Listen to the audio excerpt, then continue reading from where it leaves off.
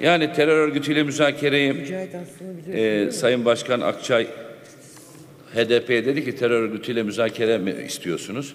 Sayın Akçay onu AK Parti yaptı zaten. Bunu yaptı. Biz de zaten o zaman dedik ki orta yerde bir sorun var. Deve kuşu gibi başımızı kuma gömmeyelim. Bu sorun adı Kürt sorunudur. Bundan kaynaklı da devletin baş etmesi gereken bir terör sorunu var. Terör sorunu var dedik. Ve bunun çözüm yeri Kandil değil, İmralı değil, Dolmabahçe değil, Oslo değil. Bunun çözüm yeri Türkiye Büyük Millet Meclisi dedik.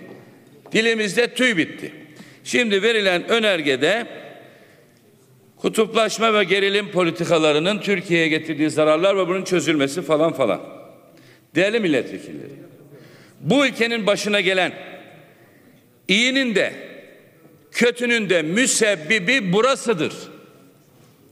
Hükümet iyi bir şey yaparsa da kötü bir şey yaparsa da. Devletin güvenlik kuvvetleri istihbaratı şusu busu. Ülkenin sahibi millettir.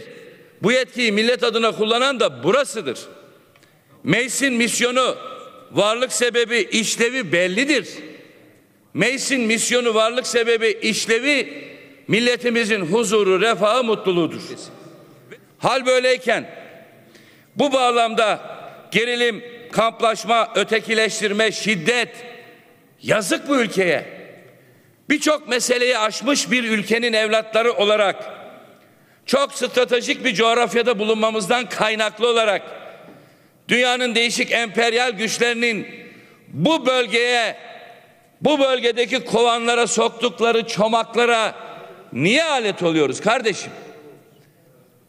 Bizim birliğimiz, dirliğimiz bu ülkeyi dünyanın en güçlü yapacak, en güçlüsü yapacak tek şeydir, tek unsurdur. Ama devleti yönetenlerin işte milli mütabakat, sen yerlisin o değil, ben milliyim sen değilsin polemiklerinin bu ülkeye hiçbir karı olmaz. Siz biz yani iktidarı muhalefeti herkesi kastediyorum. İçerideki zenginliğimizi yani çok dilliliğimizi yani çok renkliliğimizi yani çok kültürlülüğümüzün kaşınmasına duyarsız kalmasak, çanak tutmasak Türkiye bu hale gelmez.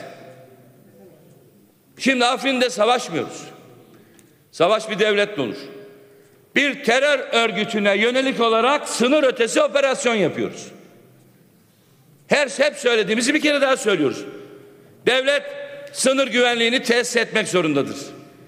Devlet bundan beraber ulusal bütünlüğünü de korumak zorundadır. Diyorum ki ulusal bütünleme, bütünlüğümüzü korumanın yegane yolu önce burada güç ve işbirliğidir diyorum. Ulusal meseleler üzerinden kimseyi itham etmiyorum. Polemik yapmak, ulusal konuları bir siyasi partinin başarıları, zaferi gibi sunmak aslında bu ülkeye hiçbir şey kazandırmaz diyorum.